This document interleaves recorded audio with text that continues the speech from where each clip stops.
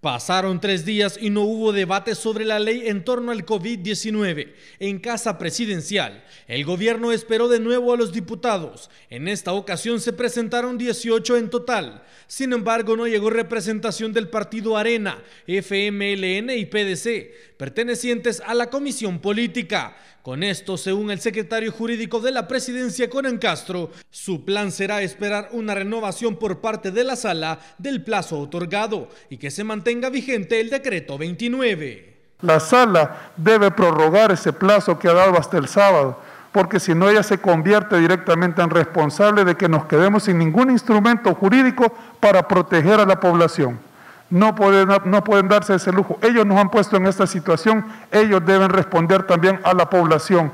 En esta ocasión también se hicieron presentes cuatro directores de hospitales nacionales, quienes confirmaron que la red hospitalaria para combatir el COVID-19 ya no da abasto para atender pacientes con agravios de salud. Es duro saber que, que esta enfermedad también afecta a niños.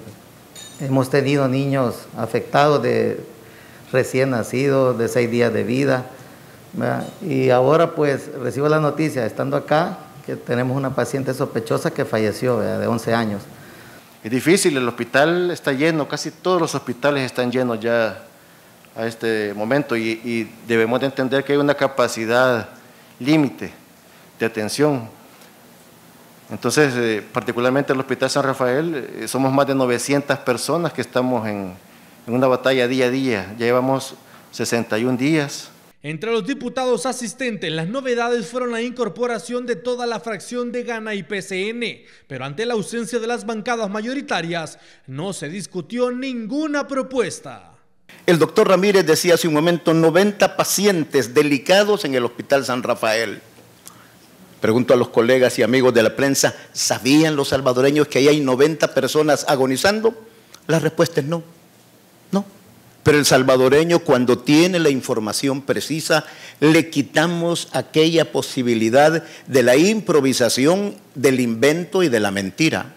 La sala mandató que tanto el gobierno como diputados debían reunirse para llegar a un consenso. Sin embargo, pasaron tres días y no hubo acercamiento para iniciar la discusión. Este viernes 12 de junio vence el plazo. Luego de ello no habría ninguna ley para regular medidas de control de la pandemia. Imágenes y reporte de Néstor Hernández, Noticiero Hechos.